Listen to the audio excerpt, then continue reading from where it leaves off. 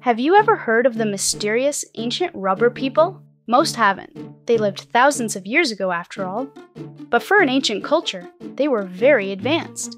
They built massive cities, sculptures, and pyramids. They used astronomy, math, and chemistry. They even invented one of the greatest sports of all time.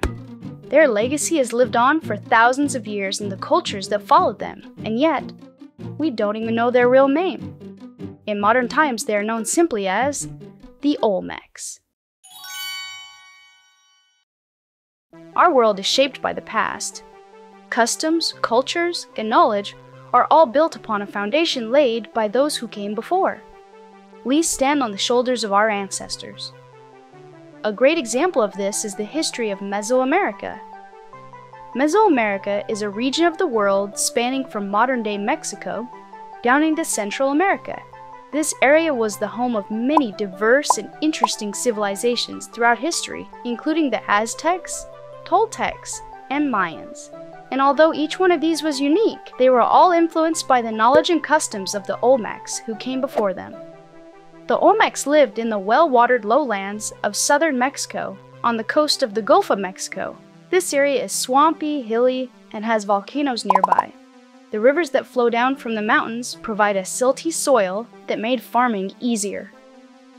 As the population grew, this area became a cradle of civilization. The Olmecs started building cities around 1200 BCE, starting with a great city we now call San Lorenzo, located on the Coatzacoalcos River. Where the Olmecs came from before that is somewhat of a mystery. They wrote using a form of hieroglyphics, but these just don't tell the whole story. In fact, we don't even know what they called themselves. The word Olmec comes from an Aztec word that was used to describe the ancient Olmecs over a thousand years after they were gone. The word Olmec means rubber people, or people of the rubber country. Rubber people? Well, they weren't made of rubber, obviously, but they did make rubber. Native to this region was a plant that we call the rubber tree. The Olmecs would cut a strip of the rubber tree and let the liquid inside drip out and collect it. This liquid is called latex. They would then mix that latex with juice from a morning glory vine in just the right way to make it form rubber.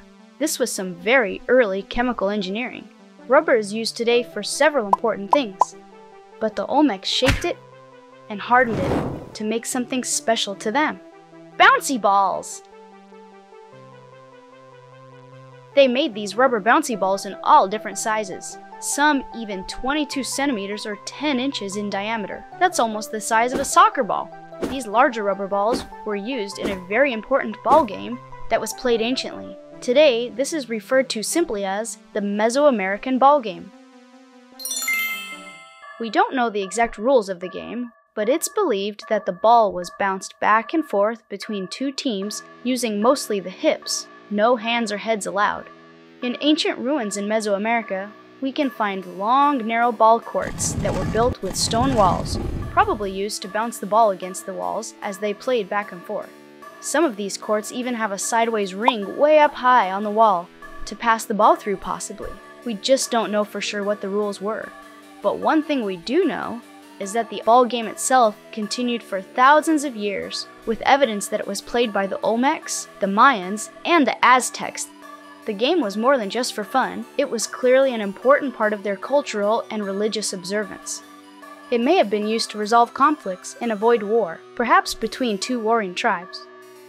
Some people in modern Mesoamerica play a version of the ball game today for fun and to honor their ancestors. It's now called Pok ta Pok. Rubber wasn't the only crop they grew in Olmec society. They grew beans, squash, and a type of grain called amaranth. The most important crop of all, though, was maize, which is similar to corn. The ancient Mesoamericans had to cultivate and propagate the maize, then soak it in lime water, then rinse and hull it to make it easier to cook and to improve its nutrition. This whole process is called nixtamalization, and without preparing the maize this way, it may have been impossible to sustain and feed such a large, thriving population of people. This same process was passed down to other Mesoamerican cultures throughout time to make porridge and tortillas. There is even evidence that the Olmecs used maize kernels to make the world's first popcorn. Another important plant for the Olmecs was the cacao tree. This tree is native to Mesoamerica, and the Olmecs discovered a process to use the beans to make chocolate. They used chocolate to make a drink. We think this may have been part of their religious rituals, but we aren't sure. So next time you have some popcorn or hot chocolate, remember to thank the ancient Olmecs for discovering some of our favorite treats. The Olmec religion clearly involved more than a ball game and hot chocolate, but as a whole, it is still mostly a mystery to historians. The Olmecs had many gods, but we don't know their names. Researchers referred to them by a number. Their gods are closely associated with parts of nature, such as animals, rain, or crops like maize. Many of these gods are similar to those found in Mayan and Aztec religion later in history, such as the Olmec snake god, which is perhaps represented later as Kukulkan for the Maya and Quetzalcoatl for the Aztecs. The Olmecs built on a large scale too. They planned their cities and built them using bilateral symmetry and oriented them along a north south axis. This shows that they probably invented a compass of some sort. They built huge temples and pyramids in their cities. One such is called the Great Pyramid, located in the ancient city of La Venta. It was 110 feet or 34 meters tall. Now that's only one quarter the height of the Great Pyramid of Giza in Egypt, but it's still very tall for an ancient culture. The Olmecs are also famous for carving giant head sculptures from basalt. These huge heads are around 3 meters tall, almost 10 feet. Each one weighs around 8 tons. 17 of these heads have been discovered, 10 of which were found in the ancient city of San Lorenzo. They are thought to be representations of powerful Olmec rulers, but we aren't totally sure. One of the biggest mysteries of all is where the Olmecs went. The Olmec civilization seems to disappear around 400 BCE. Many theories have been proposed. Perhaps there was a change in climate that made farming in the area unsustainable for a time. Some think that a large volcanic eruption could have made it impossible to stay. Still others think war may have led to their disappearance. We aren't sure yet. What we do know is that their culture and technology lived on. The Zapotecs, Mayans, and Aztecs all learned and adapted Olmec farming, culture, religion, and even the ball game to their own civilizations.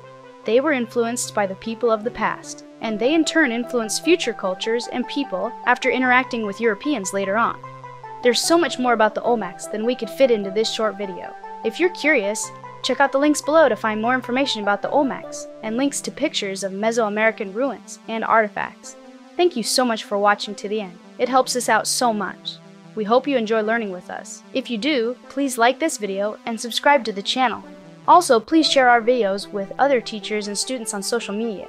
This helps us continue to grow and make more fun videos for you and your students. See you next time!